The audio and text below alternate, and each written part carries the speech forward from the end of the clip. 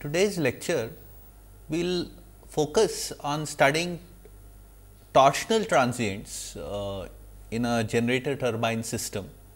The reason why I have chosen this particular uh, topic uh, as a kind of a case study is uh, because the modeling required for studying this these transients or these dynamics uh, are somewhat different from uh, the modeling the kind of modeling we did to study slow transients. Slow transients I mean uh, power swings and uh, for example, loss of synchronism, power swings, uh, frequency stability that is the common motion of the frequency in a multi machine system. These were relatively slow transients in which the way we model our network or even the turbine generator system was uh, appropriate for the study of slow transients. Okay. So, uh, in today's lecture we will uh, focus on torsional transients and the phenomena of uh, subsynchronous resonance which I will try to describe to you and uh, we will also try to do an analysis of this particular uh,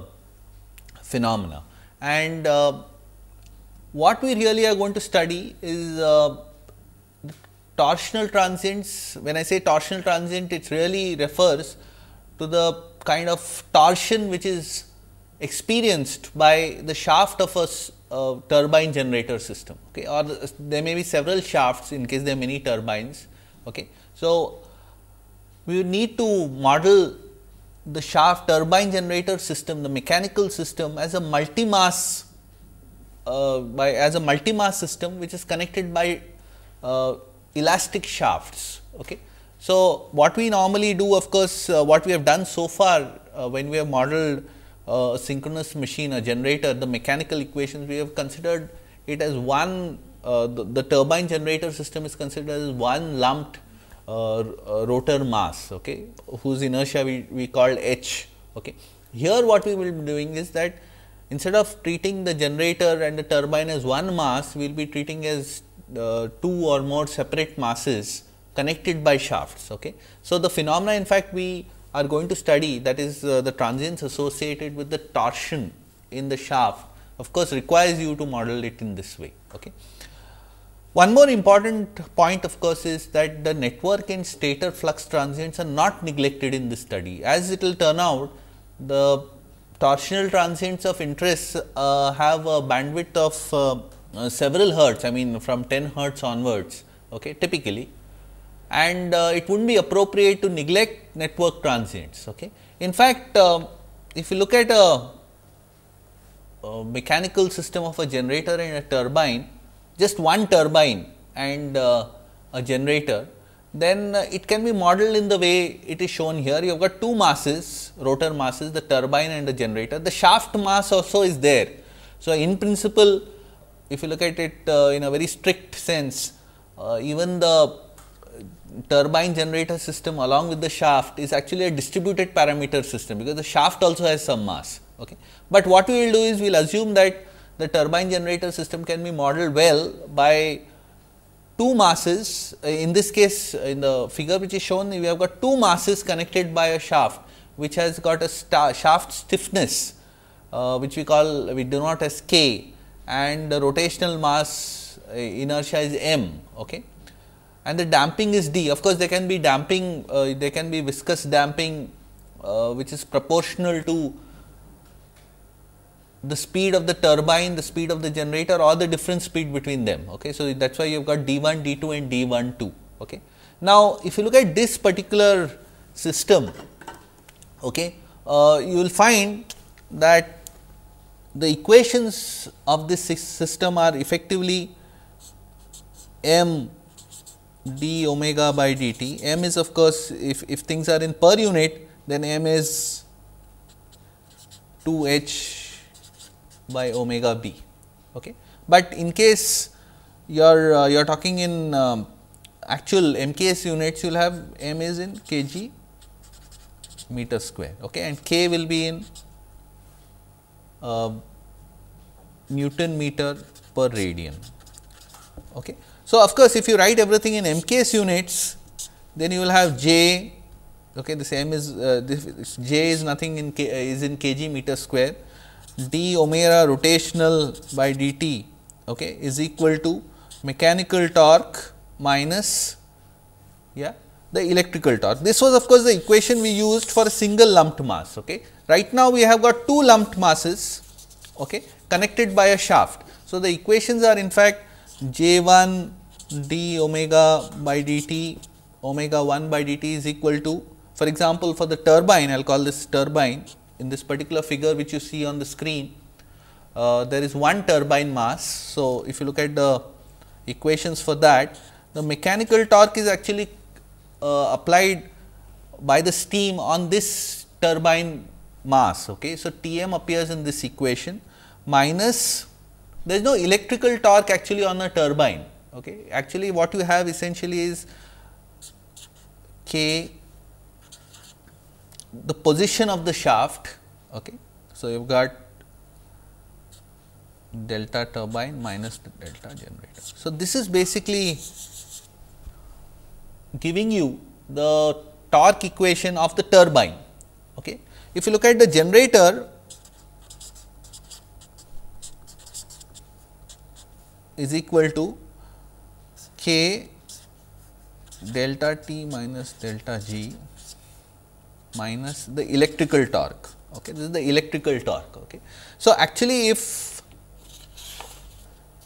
remember that when we wrote uh, the equation for a generator, okay, if you recall the kind of equations we were writing for the study of slow transients, we just had 1 j and T m minus T were applied on the same mass. So, what was the assumption there was that if this is the turbine connected by a shaft to a generator and this shaft has got infinite stiffness, then you can treat this turbine generator system as one mass on which T m is applied in one direction and T is applied in another direction.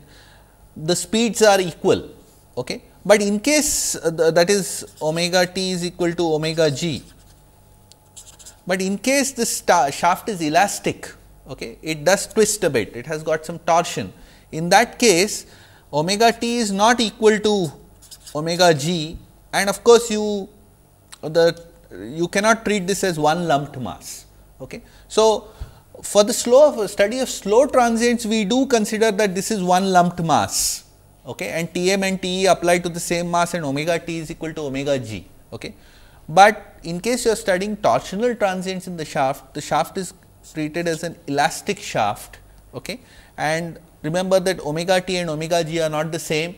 The angular position delta t and delta g are also not the same and the force on the shaft okay, is k times there is a stiffness constant into the difference of the position of the torque uh, turbine and the generator mass. Okay. So, if, if there is a twist or a torsion, okay, then you have got a force. Okay. So, the equations of a two mass connected by an elastic shaft system is actually given by this.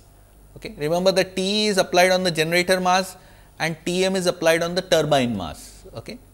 Now, of course, you can uh, easily show that the center of inertia moment of this is you can just you know just rewrite these equations and add them up you will find that j t plus j g okay, d omega t into j t plus omega g into j g upon j t plus j g. This is the center of inertia speed of the machine is equal to T m minus T e. Okay.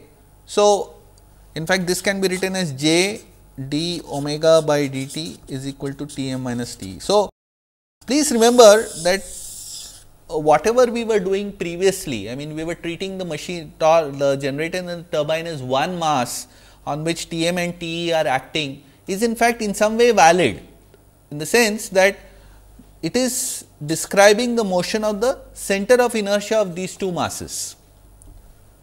Okay. So, if your uh, the center of inertia of the two masses is affected by T m minus T e, okay, but the individual speeds okay, are determined by these equations. Okay. So, this is an important point which you should note whatever modeling we have done so far assume that the generator and the turbine shafts are one and the same. Okay. But remember that they are different when, uh, when connected by an elastic shaft, the speeds are different etc.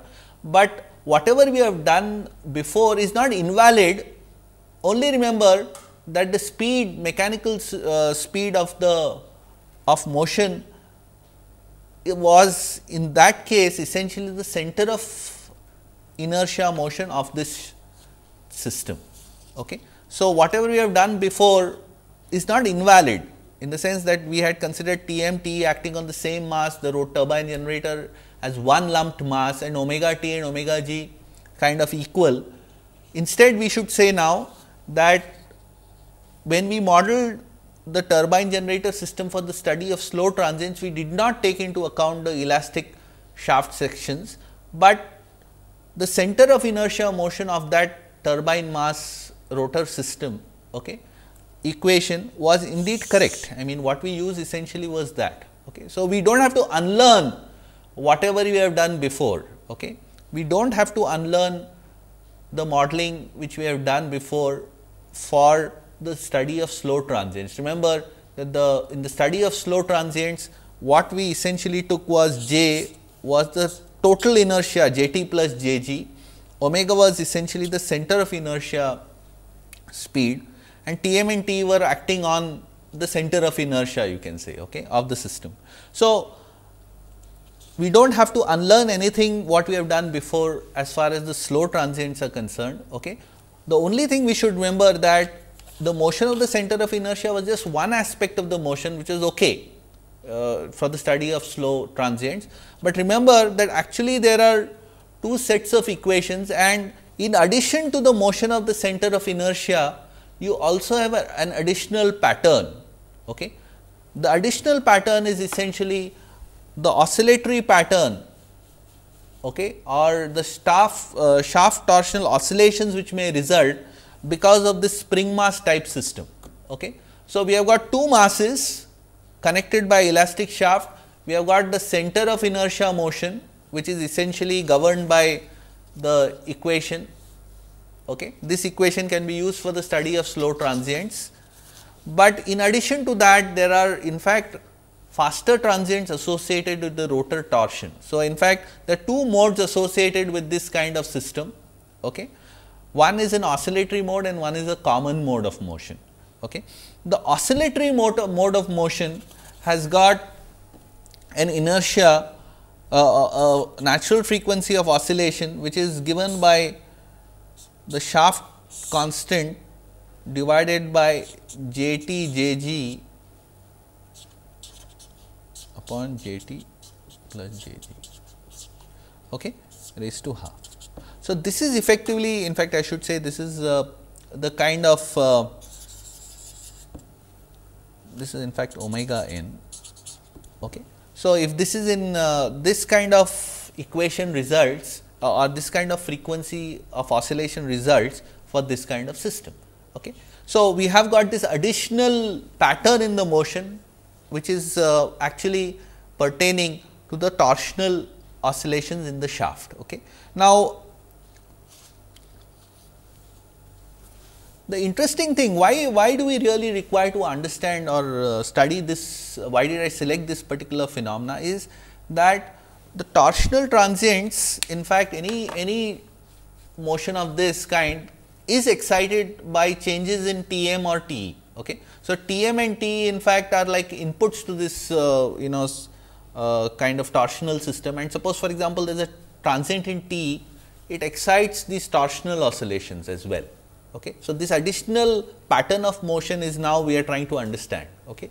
Now, the reason why we, as, as, I was just trying to tell you, the reason why we are trying to study these particular transients is that uh, there was one interesting situation wherein the electrical network okay, caused torques which actually caused these torsional oscillations to go unstable.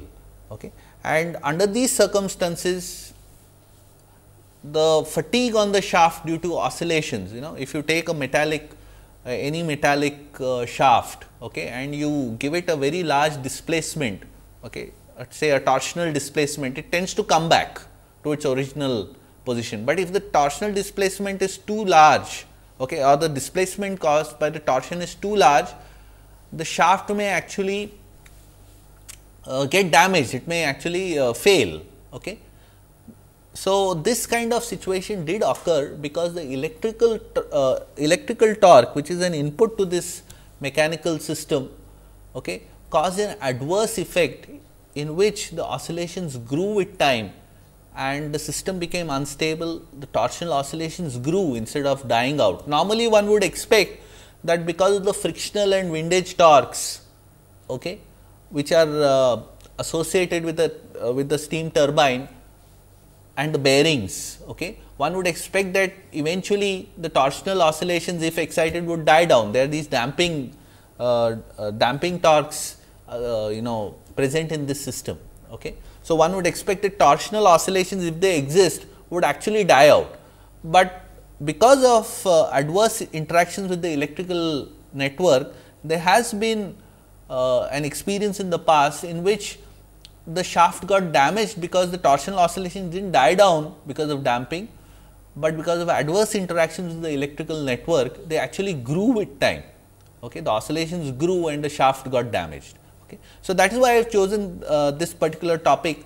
We'll now we, we will try to understand the interaction of this shaft torsional system with the electrical network. How does the electrical network okay, affect these oscillations? Okay. So, this is the, the topic of in fact today's lecture. Remember that although I have given you an example of a two mass connected by a elastic shaft kind of turbine generator system, you can have several especially in steam turbines you may have several turbine stages. In fact, there may be a high pressure turbine, an intermediate pressure turbine, two low pressure turbines all interconnected to each other by coupled to each other by a shaft and then coupled to a generator and maybe even a rotary exciter. So, this is the whole rotary system of a turbine generator system. Okay. And in such a case, for example, here you have got 1, 2, 3, 4, 5, 6 masses, you have got in fact 5 modes of oscillation and one, uh, one pattern of motion which corresponds to uh, the center of inertia motion, wherein all the masses move together, rotor masses move together. Okay. So, if you look at this kind of uh, turbine generator system, please remember that if you have got 6 masses, you have 5 modes of torsional oscillations and one mode of common motion in which all the masses move together. Okay. The common motion of the all the masses moving together has already been studied in some to some extent. When we studied the uh, you know low frequency swings, we treated the whole all the rotor masses of the system of the turbine generator system to be 1 okay, and the Tm and T is actually applied to just this one equivalent mass. That was essentially uh, uh, you know representative of the common motion of the turbine generator system in which all the masses move together. This is, but remember that this is just one of the patterns of motion of this turbine generator system. There are five other in this case uh, torsional modes. Okay. These are oscillatory modes. Okay. The frequency of oscillation of course, depends on the masses and the shaft uh, data or the uh, shaft parameters of this particular system. Okay. Now, the point is of course, that the torsional oscillations are affected by the electrical torque, because the electrical torque appears like a kind of an input to this system. Okay. So, that is why in this particular diagram I have shown you basically the electrical network as well. Remember that the generator is connected to a transformer and then to a transmission line and then it is connected to a system uh, say the say an infinite bus or a voltage source. Okay. So, in this particular system it turns out that under certain circumstances you can have adverse interactions between the turbine and the generator, uh, turbine generator system and the electrical network. And what you see very importantly is that this particular system in, in which I say there is a possibility of adverse interaction has got a series capacitor connected to it. Okay. Now, a series capacitor is connected to a transmission line. This transmission line is represented as a, as a lumped RL circuit. Okay. Series compensation, this, this capacitor or capacitive series compensation of a transmission line is done to reduce the effective X of the line. Now, why is that done? Re reducing the effective reactance of a transmission line. The thing is, which we have discussed some time ago, is that a reduced reactance in a transmission system okay, allows for more power transfer, okay, secure power transfer. In fact, if you have got a system in which the reactance between generators or the reactance between a generator and a voltage source is lesser, you can show that the amount of uh, the it is more secure under large disturbances. So, if you got lesser reactance, you can show that for a given large disturbance, a system with lesser reactance, okay, system reactance, okay, is more secure in the sense that it can it can sustain a large disturbance without losing synchronism. Okay. So, in fact, that is the reason why you have series compensation of transmission lines. Okay. Now, if you look at the basic problem which I was trying to address or which I gave you an idea about was that under certain circumstances, okay, a series compensated electrical network can cause shaft damage. Okay. This is something which I was trying to really uh, tell you about or this is the whole lecture is about this. Okay. Now, how can uh, you may wonder that how does effectively the turbine shaft come into the picture. Okay. Remember that suppose this is your turbine generator system. Okay. These are several masses and uh, suppose let us just try to take a kind of intuitive way of looking at things. Suppose I because of some random disturbance or some random change in the mechanical torque in the turbine, maybe it, it may be a very very small change. Okay. In that that would cause torsional oscillations to be set up. After all you give any system which has got certain torsional uh, frequencies in this case there are 5 if there are 5 or 6 masses you have got 5 torsional frequencies if you have got two masses, you have got just one torsional frequency like I showed you here, okay. But if you have got six masses, you will have five torsional frequencies. I give a, a kind of a disturbance to the say to the mechanical torque, okay. In that case, you will find that you know in general, if I give a kind of a disturbance say to two or three shafts at the same time, you will find that all these torsional oscillations will be excited. Okay. So, if I give a push here, here, here, here and here suppose you know some disturbance because of which I you know displace these masses from equilibrium. Okay.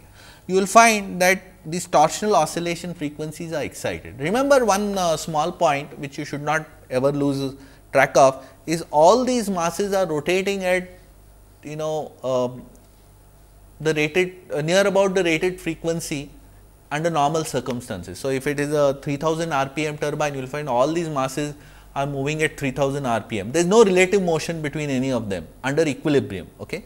But if I give a push to one or more turbines, it is likely that one or more torsional oscillations would be excited. This is what I actually wanted to say. It probably would not have been very clear the way I put it earlier.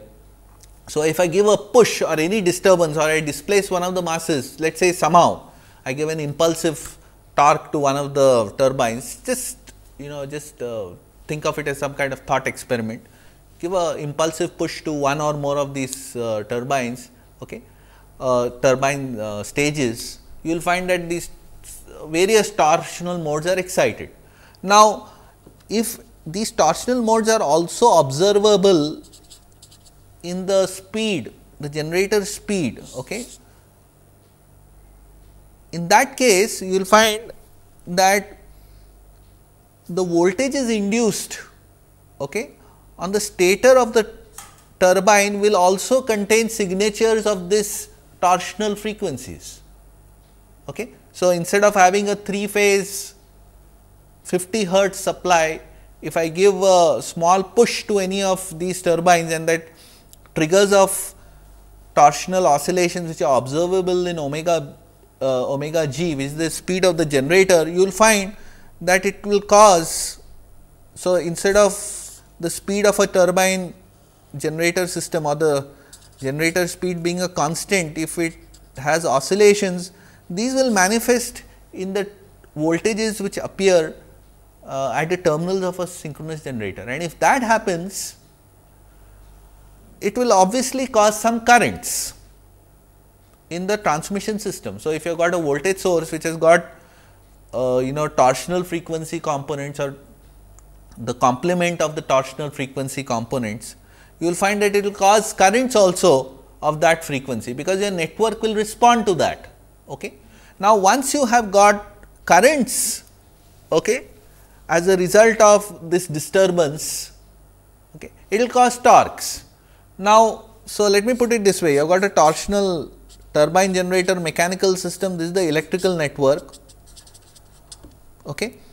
The any torsional, if you excite torsional oscillations here, they will have effects on the electrical network in the sense that the electrical network also will see some currents okay, because of this torsional oscillation. And if this currents interacts with the torques which are present in the generator to cause electrical torques which enhance the oscillations which in effect created it, one can kind of see that these oscillations may actually grow with time. Are you getting what I am trying to say? So, you, you have got a uh, turbine generator system, there are torsional oscillations which are excited, the torsional oscillations cause variations in the generator speed, the variation in the generator speed cause variations in the electrical voltage which appears at the terminal of a generator, that causes currents in the electrical network, disturbance currents in the network.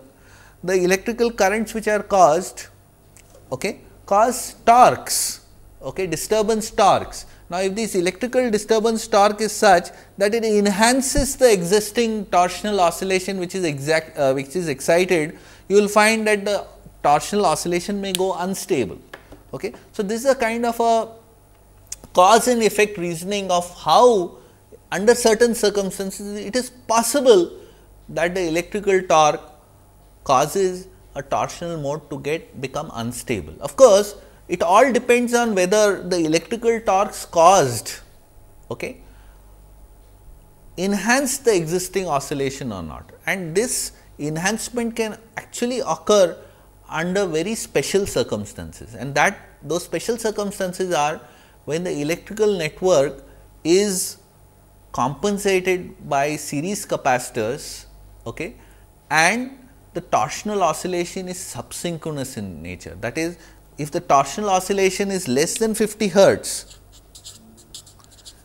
torsional frequency is less than 50 hertz and you have got an electrical network which is series compensated.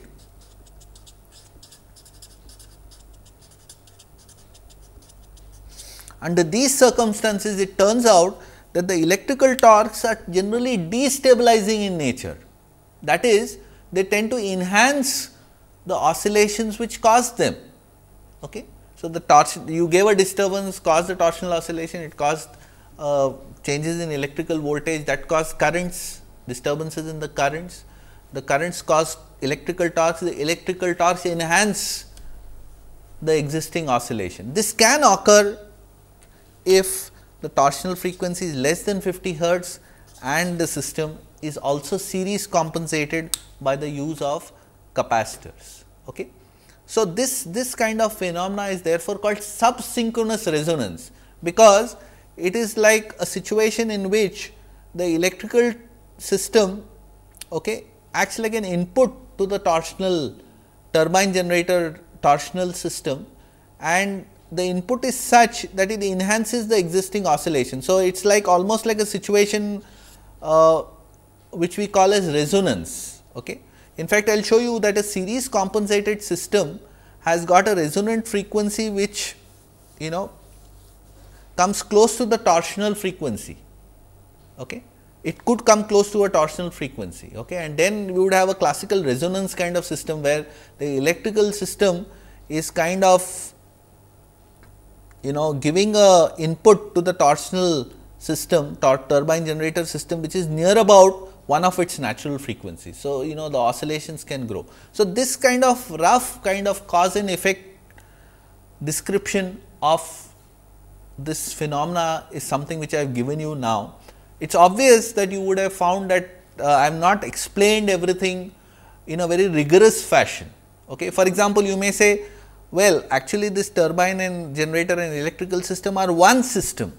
It is not right to treat the electrical system as a kind of a input to the turbine generator system. It is a one combined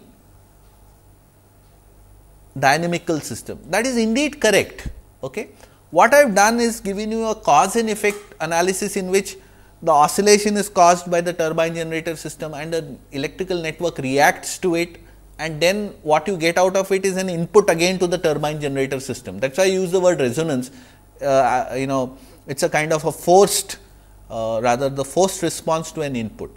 But this is not you know those who are uh, who have done this course of course would not like uh, the way I have described this phenomena. It is not a very rigorous way of descri uh, describing how this phenomena occurs. So, let us actually try to you know model this system okay, and uh, try to see what are the steps in the modeling. Of course, I will not uh, you know it is not possible to uh, explain in a cause and effect fashion uh, when your when your system sizes become greater than 10 or 20 or 30 differential equations. Okay. So, that is the reason why I actually started up the discussion in a very non rigorous fashion. Okay. But now what I will do is I will just try to describe to you the models which are used, why the electrical network under series compensated conditions can have a subsynchronous resonance frequency that is something which I will also try to explain to you and therefore,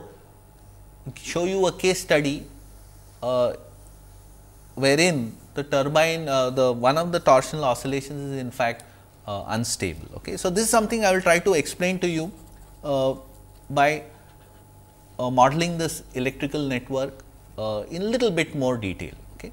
So, why does series why do series compensated network networks connected to turbine generator systems especially steam turbine generator systems cause uh, or rather cause torsional oscillations to grow under certain circumstances is what we will try to understand. Okay.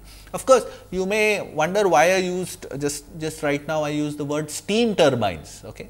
In fact, you can have uh, you know you, you have a turbine as well as a generator even in a hydro turbine. Okay. But it turns out that in a hydro turbine generator system, the generator mass is much much larger compared to the uh, mass of the turbine. So, in some ways uh, you can say that the generator in some ways screens the electrical network from the torsional system. Okay. So, this is this is uh, the kind of uh, um, thing which we will try to understand for a steam generator, the SSR phenomena, the subsynchronous resonance phenomena for a steam generator. Okay. So, let us first look at how would you model a synchronous machine and electrical network which is compensated by transmission uh, by series capacitors. Okay. So, let us just look at this modeling. Okay. So, we will just we have already done this modeling of a synchronous generator. This is the q axis equations in per unit. Okay. Psi g, psi k, psi q okay, are the fluxes on the d uh, on the q axis. Okay. There are three differential equations and one algebraic equation which relates psi q, psi k and psi g to i q. Okay. So, the third equation here is an algebraic equation. The d axis model is similar only remember that the d in the d axis uh, the field flux or, or one of the fluxes of uh, or rather the field voltage appears in the equation. So, this EFD in fact is proportional to the field voltage. Okay. So, otherwise the equations look quite similar. So, in fact, EFD is proportional to the field voltage. Okay. We do not of course consider the zero sequence equations. In fact, this phenomena uh, can be understood. In fact, it is uh, a balanced kind of phenomena. So, we will not can be understood even under balanced situations these things occur. So, we will not need to consider unbalance for understanding this phenomena. So, this zero sequence equation in some sense is redundant in this analysis. The torque equation is something we already know. In the above equations or the equations which I have shown you so far, omega is in fact the electrical angular speed in radian per second okay, and omega b is the base frequency. Okay. Now, if you have got a transmission line which connects a synchronous generator to a, a voltage source, okay, a three phase voltage source whose voltages are EA, EB and E C. Okay. VA, VB, VC of course, in this are the generator terminal voltages and V C A, V C B and V C C are in fact the voltages of the capacitor. So, if you are looking of a interconnection like this, a lumped electrical network are okay.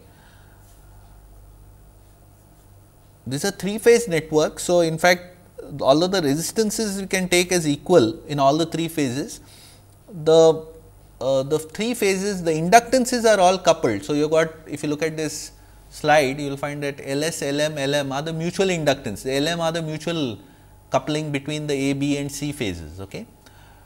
R is the resistance of the line, VA, VB, VC is the generator terminal voltage. Okay. Then VCA, VCB, VCC are the voltages of the capacitor for the series compensated network. Okay. And of course, the infinite bus or the voltage source voltages are EA, EB, EC. So, I have just shown it for A phase. Okay. So, this kind of network is there. This is what I will be studying you and showing you this phenomena of adverse torsional interactions of the electrical network with the turbine generator system. Okay. Now, if you convert these equations to the dq per unit form, this is what you will get. I have ignored the zero sequence equations. So, this is something we had done before uh, when we studied the uh, simulation of a generator in AVR, a generator with an AVR for a single machine infinite bus simulation which we did several lectures ago. The only difference here of course, is that you have got these capacitor voltages also coming into the picture. Okay. So, this VCD and VCQ are the capacitor voltages. Okay. Of course, the infinite bus DQ components, okay, if you have got a voltage source uh, EA, EB, EC, okay, then the infinite volt, uh, uh, bus voltages are minus E sin delta and EQ sin delta. This of course, assumes that EA to neutral for a star connected infinite bus would be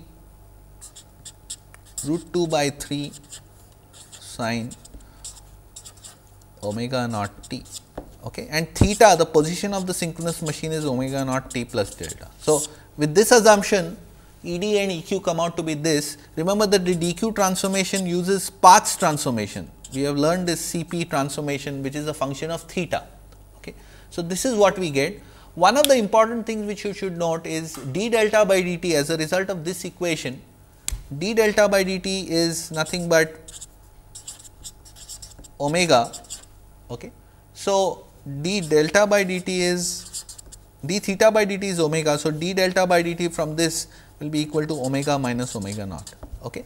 One of the assumptions we will be making is that the infinite bus frequency omega naught is equal to the base frequency or the rated frequency. Okay. So, I will not make a distinction distinguish I will not distinguish between omega naught and omega b. Okay.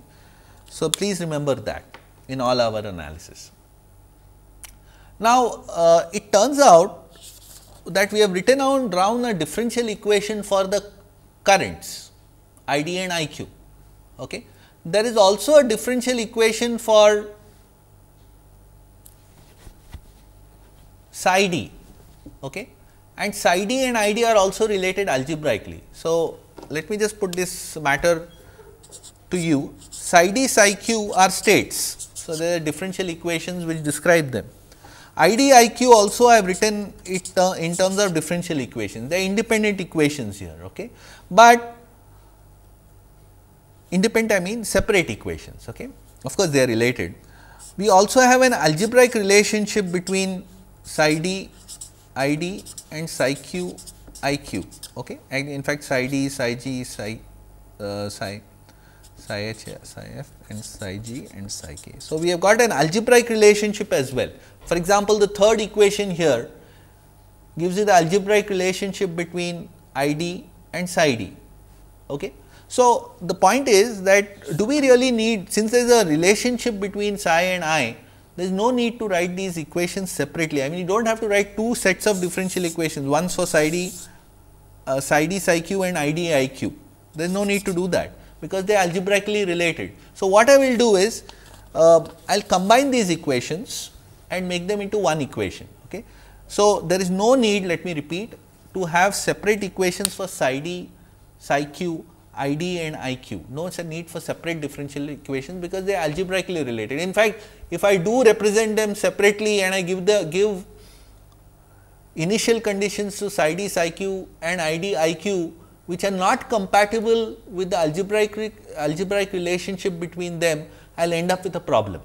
Okay. I will be giving inconsistent kind of initial conditions. So, it is better idea not to write separate equations for psi d psi q ID and ID IQ because they are algebraically related. Of course, this problem will not arise or rather this issue will not arise if you have got something in shunt between for, for example, resistive load or a capacitor in shunt with the generator and the transmission line. Okay. In that case, the generator current and the transmission line current are different. Okay. So, you can you will have to, you can write separate equations for this and separate equations for psi d and psi q, because the currents here and the currents here are not not the same. Okay. And uh, so, this is one thing you should remember that if there is no shunt connection between the generator and the transmission line, which is modeled by a lumped uh, inductance. Okay. In that case, you do not have to write separate differential equations for psi d psi q and I d I q. Okay. Of course, somebody may say that look uh, you do actually have a shunt connection in the form of parasitics and all that. But remember uh, in this particular model we shall not consider parasitic capacitances etcetera, which exist between any electrical structure and ground say. Okay. So, we will assume that nothing is connected in shunt and as a result of which we will just try to have one combined equation for psi d psi q and i d i q instead of two sets of equations for them. So, how can we do this? A simple way of doing it, there are many ways you can do it, is just to add up the differential equations uh, uh, of psi d and x i d. Okay. And if you do that, it is interesting that this is what you will get if resistances are neglected. So, if you assume that the transmission line resistance is small, which is not really true, but just for the simplified analysis, let us assume, assume it is true and the stator resistance of a synchronous machine is also small, which is in fact true, it is very very small. In that case, we get this particular model by simply adding up the two equations. What effectively we have done is got rid of V d and V q out of this. Okay. And we have got just one uh, set of two differential equations instead of four differential equations, separate equations in psi d psi q and i d i q. Now, if we assume in addition the x d double dash and x q double dash are also equal and equal to x double dash, then it is very easy to see that since psi d is equal to x double dash i d plus something which is dependent on fluxes psi f and psi h, it is a linear relationship, I will just call it G. Okay and psi q is equal to x double dash i q plus f uh, I will call this g 1 and g 2 psi g and psi k. Okay. I can substitute this substitute for psi d and psi q in this particular equation and what I will get is essentially what you see on the screen. Okay. So, you will get I have replaced psi d and psi q okay, in terms of I d and I q and uh, in that case you will get this particular relationship. E 1 and E 2 of course, will be dependent on psi f, psi h, psi g and psi k. Okay. So, what I have done is substituted for psi d and psi q in the previous equation. Okay. So, the previous equation was this, this itself was obtained by combining the stator flux and the transmission line current equations and uh, this is what we get. Now, let us do another step. Remember that E 1 E 2 are in fact dependent on psi f psi g psi, psi f psi g psi h and psi k. Okay. So, E 1 and E 2 are dependent on the rotor fluxes and what we get here next is this.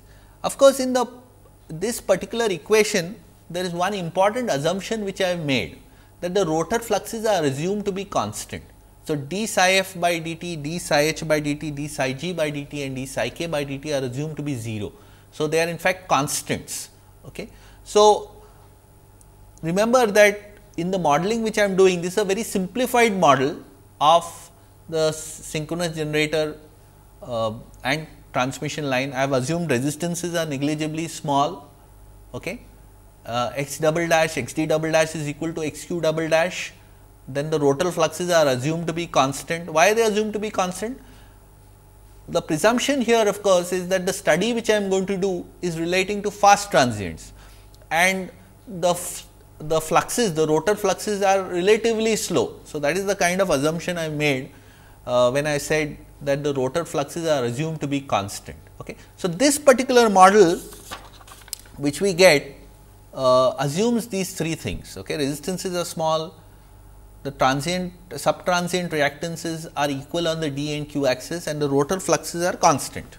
Okay. So, this E 1 E 2 are in fact dependent on the rotor fluxes. Now, if I if you look at this particular equation E d and E q are dependent on delta.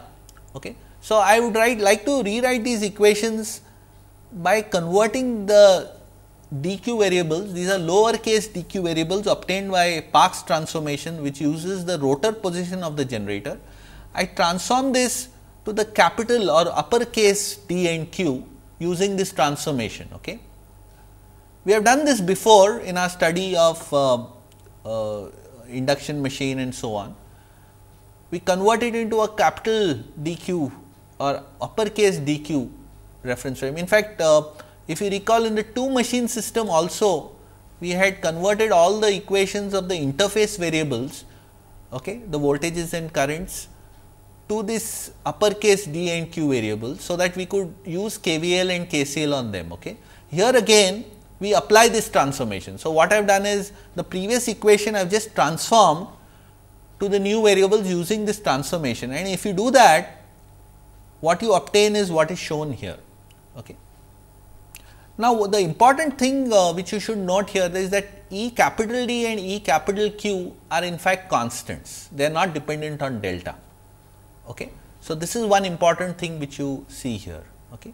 Now, we uh, the remaining question here in the model of the electrical network is what is VCD and VCQ? These are the capacitor voltages in the DQ reference frame. Okay. So, if you look at the capacitor equations for the three phases, these are suppose three lumped capacitors connected in series with the transmission line, then the differential equations look the way I have written them down here.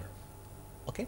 Now, if I transform them into the DQ reference frame, what you get is this. Okay. Remember, the zero sequence has been neglected okay, or rather disregarded here, because we are going to talk only of uh, balance situations and the zero sequence equations are in fact decoupled completely from the DQ equations. What you notice here of course, in this equation is that you have got this additional term in addition to the currents. This is of course, coming because we have used a time varying transformation to get from the ABC to the capital DQ variables okay, or the uppercase DQ variables. So, please remember that whenever you apply a transformation to the ABC equations, we effect effectively get this additional terms. Okay. Okay. Now, once you have got this, this is uh, uh, so what we have done is effectively model electrical network. If you look at the equations, these are the equations of a capacitor and these are the equations of the transmission line and stator fluxes assuming that of course, that uh, the rotor fluxes are constants. Okay. So, in fact, if you look at the dq equations, if you look at the dq equations, you have got id, iq, vd, vq. If you look at the electrical network, d by dt is equal to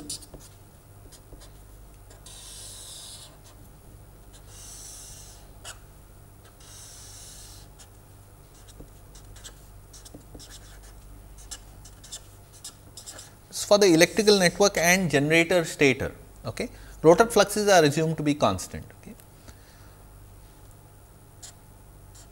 These are only the electrical equations. Remember that the, there are equations pertaining to delta and omega. In fact, d delta by dt is equal to omega minus omega naught and of course, I should whenever I am going to talk now of shaft torsional oscillations, I should make it clear that the delta here you know the we have to make a distinguish uh, we have to make a distinction between the generator speed and delta and the uh, speed and delta corresponding to the other turbine masses. Okay. So, this is very important. So, you do have of course, the mechanical equations for the turbine masses they may not be 1 they may be 5 or 6 okay, and your generator mass. Okay. So, these there will be differential equations corresponding to that we will look at them a bit later. Okay. Now, the equations here are if you look at the equations there will be a matrix A matrix here okay, the state matrix plus something corresponding to E 1 dash and E 2 dash okay, into omega plus another matrix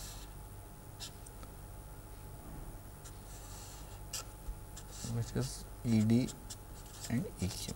Now, one of the assumptions remember what I have made. So, you will have uh, a matrix which is 4 into 4 okay, with the assumptions which I have made. This will be a 4 into 2 matrix this will be a 4 into 2 matrix E1, E2, ED, EQ. Okay. ED, EQ are going to be constants. Okay.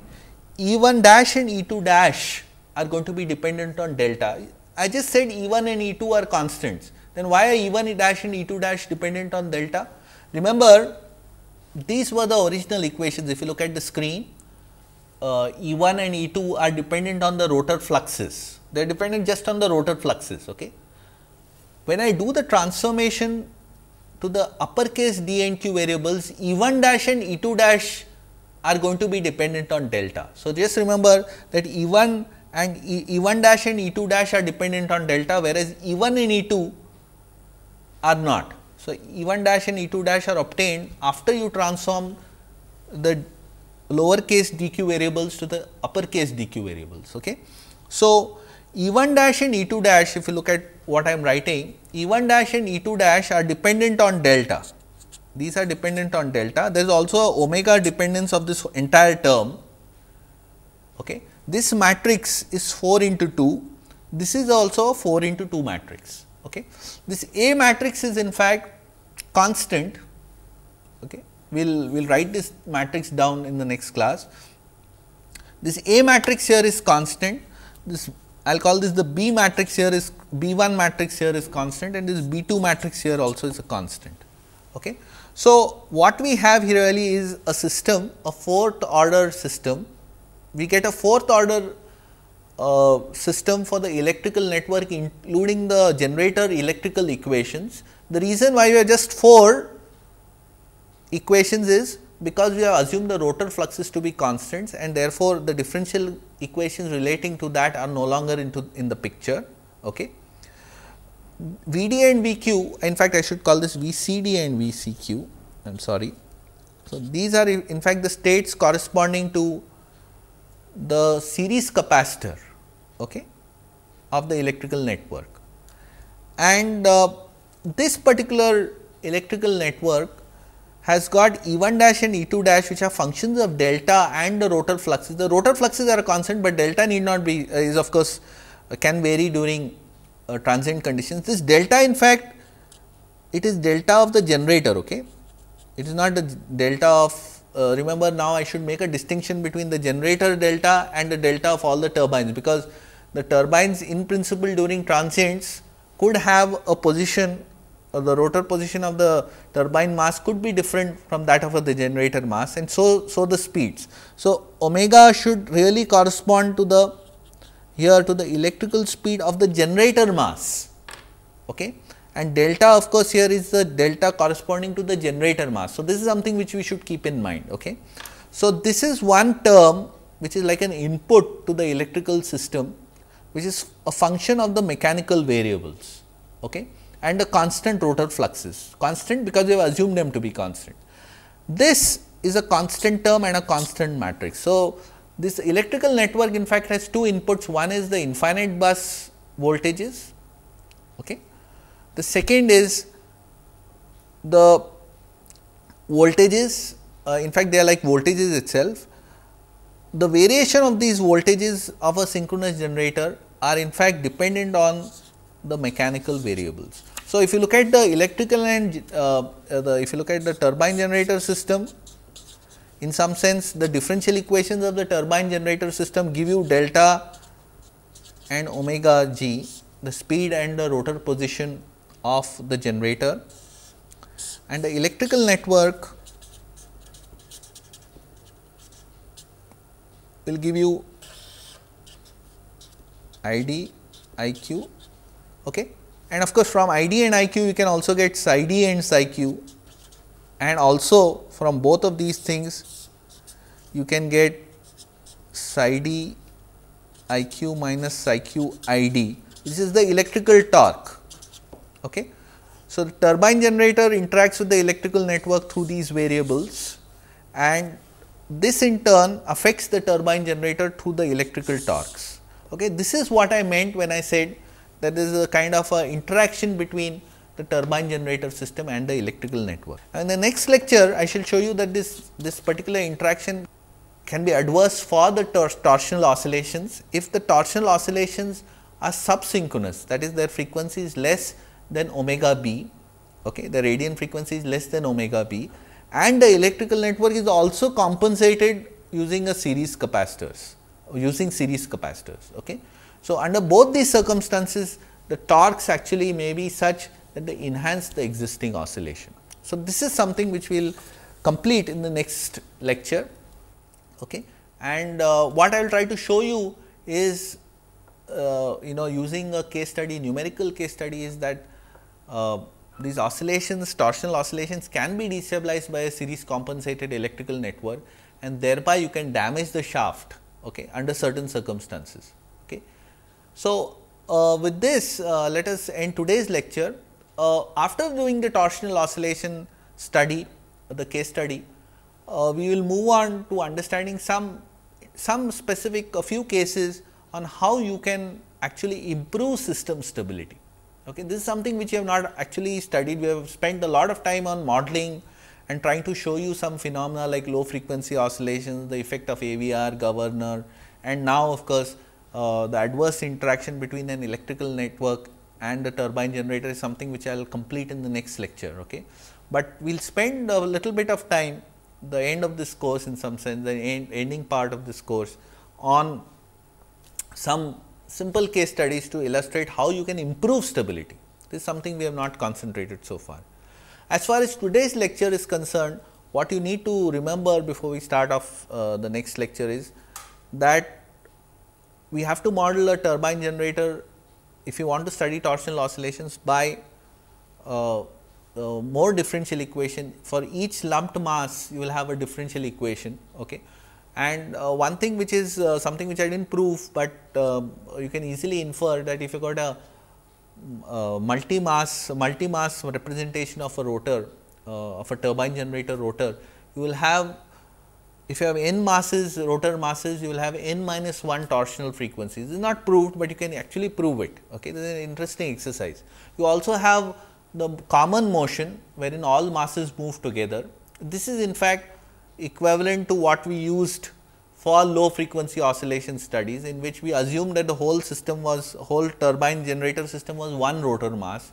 We do not have to unlearn anything what we have done before, because we were looking at only one aspect of the motion. Okay. In addition now you have got torsional oscillations. Okay. Now, these torsional oscillations can be relatively high frequency more than 10 hertz. Okay.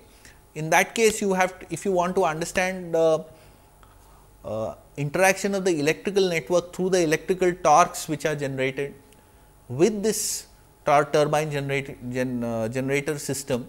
In that case you may have to model the turbine generator uh, the electrical network without neglecting uh, the stator flux transients and the network transients. Okay. That is what you have done today. We have not neglected the d by dt's, the did by dt's or the d psi d by dt or d psi q by dt. Okay. This is a major departure of uh, de departure from what we did when we studied low frequency transients, where very routinely we used to neglect the rates of change of flux, uh, the, the stator fluxes as well as the network current um, rates of change okay, in the dq variables.